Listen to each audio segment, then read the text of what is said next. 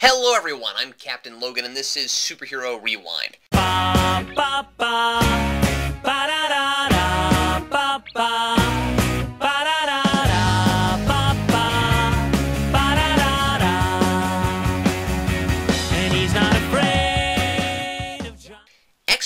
Last Stand is not the worst superhero movie ever made. The concept is decent, there's some good acting, the production value is great, there's some really amazing visual effects, and it continues, like the first two films, to ask questions with interesting social implications. It is, however, one of the most disappointing superhero films I've seen, and it's especially disappointing as a sequel.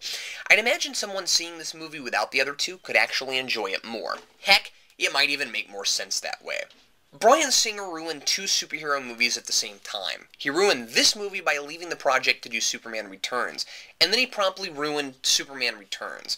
So this one was directed by Brett Ratner, and though he's a competent director, the tone of this thing is completely different from the first two.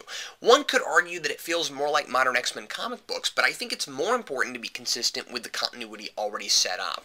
This is a more realistic X-Men universe, and a generally serious one. Not the place to throw in dozens of mutants from the comics, just to make sure they get on screen somehow, never develop them, and give them irritating one-liners. Now I realize some of that was going on in the first film, especially with Toad, but X2 got so far away from that, I wanted to see it continue. Now we've got the infamous Juggernaut line, and I'm not going to repeat it because we all know what I'm talking about. And it makes me shake my head every time I see it. I don't care if it's fan service, it doesn't fit in this continuity. Why are there suddenly classes of mutants? Everyone, including Xavier and Magneto, start throwing around this terminology like it's always been there. As I understand it, this idea was borrowed from Whedon's run on Astonishing X-Men. If it had to be there, all we needed was a quick explanation as to why we're now classifying mutants when we hadn't been talking about it like that before. All of a sudden, Xavier is telling Storm he wants her to take over the X-Men. What? Now, I never thought Halle Berry was right for this role. She never had that commanding, no-nonsense presence Storm is supposed to have. She begged and begged for more screen time, and she finally got it, so the script pretends it's got an actress with a commanding presence and gives her a lot of dialogue. But I think she just comes off as a control freak, which I guess makes sense considering how Halle Berry managed to get Storm in the limelight. And someone has to be in charge, since Cyclops can hardly be in this thing because James Marsden is too busy playing a completely superfluous character in Superman Returns. Oh, and by the way, hey, Bryan Singer, it's bad enough you had to leave and make a bad movie, but did you have to steal important cast members for it as well? There's also all of a sudden a danger room. There was supposed to be one in X2, but they didn't have the budget or time to build it, so they left that scene out. Once again, I don't care that it's there, but I want one line about how it was just recently built or something. There's no reason to pretend like stuff has always been in this continuity when it obviously hasn't. And Sentinels, they couldn't come up with a way to put them in the series, so instead they threw one in the danger room just for fan service. Who designed them? Have they fought these things before and just never told us? Because I think it would be really funny if Professor Xavier invented the Sentinels just to give the X-Men something to fight in the Danger Room. I know I'm already nitpicking, but here's the point. It doesn't feel like the same universe. I hate that all these problems stem from production issues, too. One of the worst being that Cyclops gets killed just because they can't get Marsden long enough to give him any screen time. It's sad that that's the best solution they could come up with. A lot of arguments could be made that killing off both Cyclops and Professor X here were good ideas, because it shows how completely defeated Jean Grey is by the Phoenix personality, how deadly she is, and that it creates a real struggle for Magneto, having to continue on with his cause, even while the linchpin in his cause has destroyed his greatest rival, but also his one true friend. Now I'll get to Magneto in a minute, but even if there are good reasons, I really resist killing these characters off so early in the film. When I saw this the first time, I was jarred by Cyclops' death. It came out of nowhere, and that made it really hard to pay attention to what was going on. I just kept thinking, really? He's dead? Surely not. And then when Professor X gets killed, who happens to be my favorite character, and get, always gets shafted in these movies, like Cyclops, I was absolutely numbed. His death was painful to watch, the way he's being ripped apart molecule by molecule and then just disintegrates all at once. It's an amazing effect, but it hurt me. I couldn't enjoy the rest of the movie. And by the way, I'm going to talk about this a lot, so if, if Professor X's death didn't bother you, chances are you like this movie a lot better than I do. I think that scene was meant to be powerful, that we're supposed to feel that death, feel like we're losing this great mentor along with the other X-Men, that we're losing our best friend along with Magneto, and that this great force of nature that no one can control is taking it away from us. When put like that, I guess it sounds kind of brilliant. But the problem is, not long after, the film does things like give Juggernaut one-liners we're expected to laugh at. You do want some humor in a dark movie, but it's not balanced. And this isn't a dark film so much as a film with some dark scenes in it. But perhaps if that had been the climax of the movie, rather than the X-Men fighting a huge battle you know they're going to win, it might have had the emotional resonance it was trying to in the middle of it. I also don't like that Xavier dies before he and Wolverine have a chance to resolve their differences. The story isn't bad in theory. Worthington Labs develops a cure for mutation, and it's made available for any mutant that wants it. Magneto thinks this threatens mutants because he believes there's nothing to cure. He says mutants are the cure. So he starts his brotherhood and plans to take Worthington Labs down and destroy the cure. If there wasn't so much else going on, the story would have worked great. But it has the same problem Spider-Man 3 would later. It tries to do so much fan service that it ultimately disappoints everyone. You can't do a big Magneto story and do Dark Phoenix.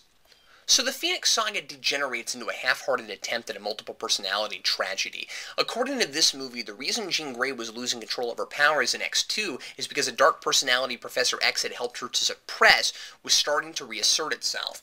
This puts Professor X in a morally ambiguous place. I'm not saying Xavier should never have to make tough choices. And in fact, it's cool when that happens because it makes he and Magneto not so different from each other. But it's hard for me not to see this as morally reprehensible. Because Jean was too dangerous when she was a kid and saw herself as nearly godlike, he suppressed her real persona and helped her to develop a more docile one.